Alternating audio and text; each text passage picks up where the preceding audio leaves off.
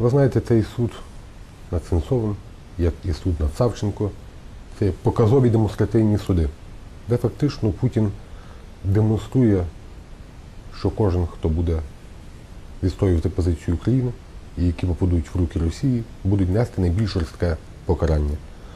Фактично, це не просто нічого немає спільного суду.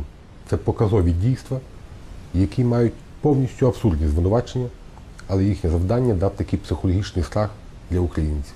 Тому і українське МЗС, і міжнародне співтовариство вони повинні просто не переконати Путіна, а змусити Путіна зупинити ці процеси.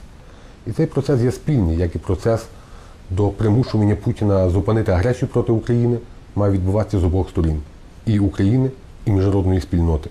Але треба усвідомити, Путін ніколи не зупинить тих процесів з доброї волі, а тільки під потужним тиском зовнішніх чинників, які продемонструють йому, що продовження подібних процесів, як і агресії проти України, призведе до його краху і його влади.